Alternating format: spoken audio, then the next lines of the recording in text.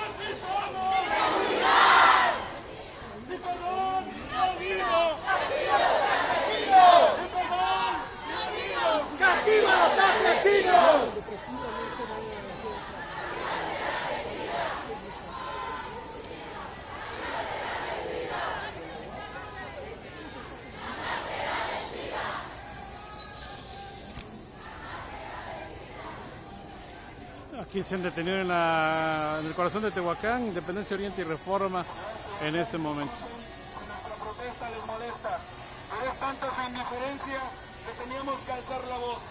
Hoy día los estudiantes ya estamos hartos, ya estamos hartos de salir con miedo de nuestras casas. Muchos provenimos de fuera en busca de una esperanza para nuestra familia, en busca de lo mejor para todos. Hoy no exigimos seguridad para el estudiantado, hoy exigimos seguridad para todos los que habitamos Tehuacán, porque es una ciudad bonita que no se puede ver, se puede ver afectada por ese tipo de situaciones. Compañeros, vamos a decir presente al pasar en lista a nuestros compañeros afectados, los que ya se nos adelantaron. Francisco Javier Tirado. ¡Presente!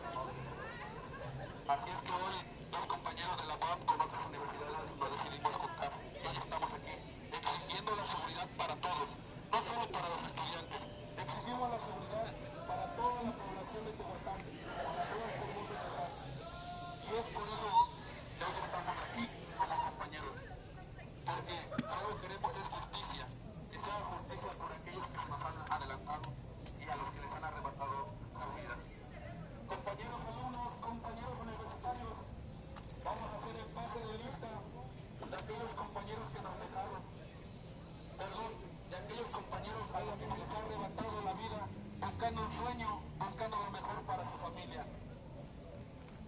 Francisco Javier Tirado.